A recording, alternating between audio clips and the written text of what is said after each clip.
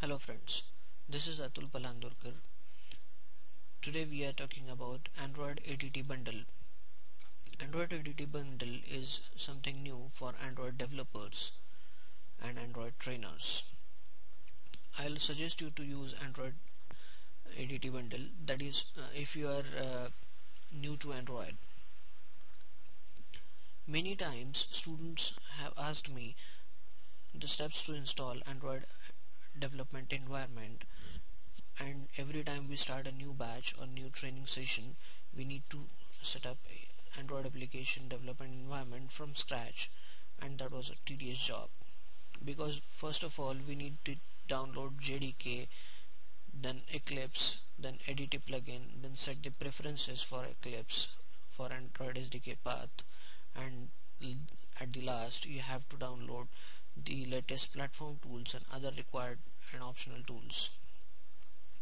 But now Google has come up with the Android bundle, ADT bundle which provides everything you need to start developing Android applications.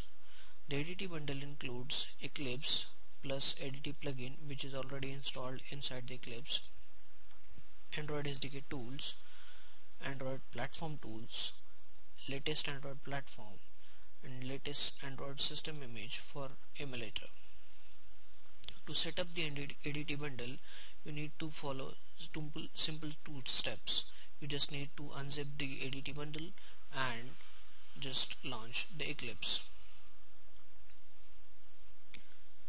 Here's the link from where you can download the Android ADT bundle. You can choose your platform and you can download the Android ADT bundle.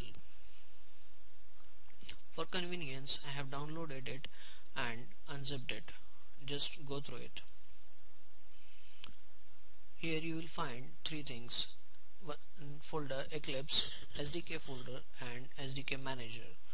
Eclipse folder has the Eclipse for you. SDK folder will have all the Android SDK.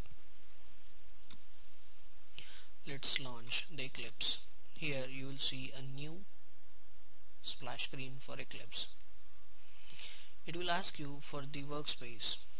So just select the workspace and start, go on exploring.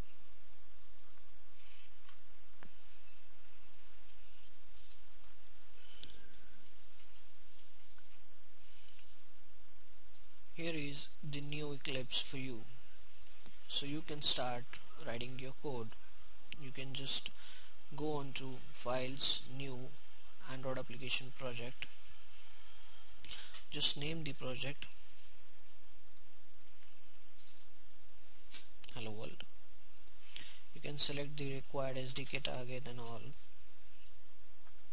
If you want to create the custom launcher icon for your application you can create it. Now I'm not.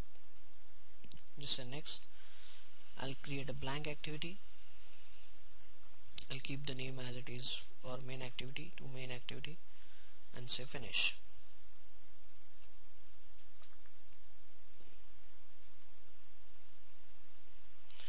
here goes your application. The application is ready. Now you can launch it and run it. Do whatever you want. Thank you guys